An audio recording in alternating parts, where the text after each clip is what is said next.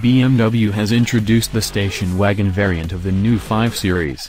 Named Touring, the long roof was developed specifically for the European market.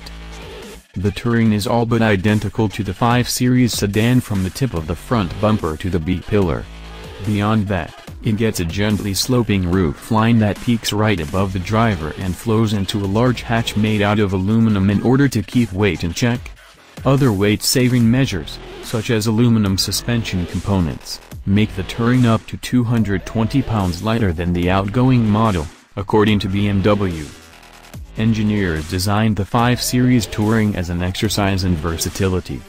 The tailgate opens separately from the hatch, and the 40-20-40 split rear seats fold down at the simple push of a button located in the cargo compartment. A self-leveling rear suspension helps BMW's newest wagon haul up to 1,600 pounds when it's properly configured.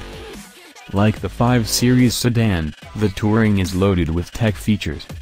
Notably, the list of options includes a gesture-controlled infotainment system that debuted in the 7 Series.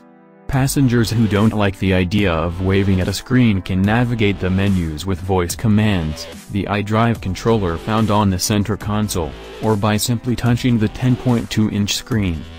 Buyers can also order the Touring with a configurable digital instrument cluster.